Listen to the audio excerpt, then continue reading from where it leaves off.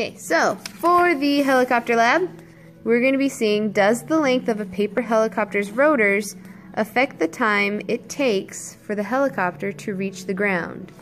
So, Adam, what's our independent variable? Our independent variable is the length of the rotors. Because that's what we're changing. And then what are we going to measure? What's our We're gonna measure how fast the helicopter touches the ground. awesome? What are some things that we should keep the same each time we drop our helicopter? Um, you're not like dropping it one time and like slamming it the other. Okay, so the amount of force.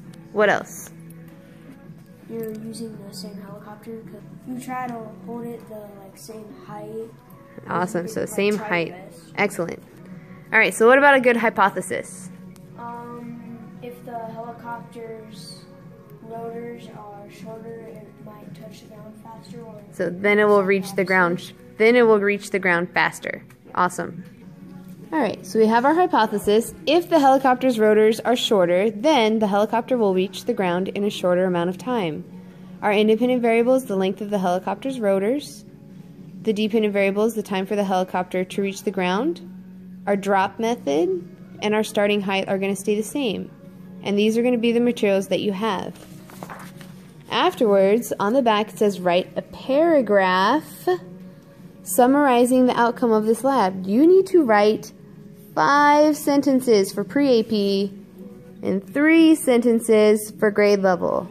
Okay, and then you need to go with the conclusion. My hypothesis was either valid if you were correct or invalid if you were incorrect.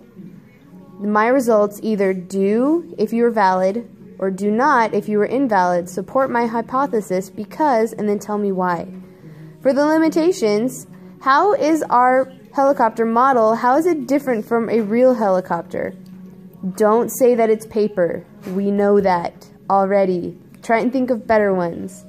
So then describe two advantages. How is our paper helicopter like and similar to a real helicopter? And then what could be done to make our lab more accurate, to give us better numbers or quantitative data?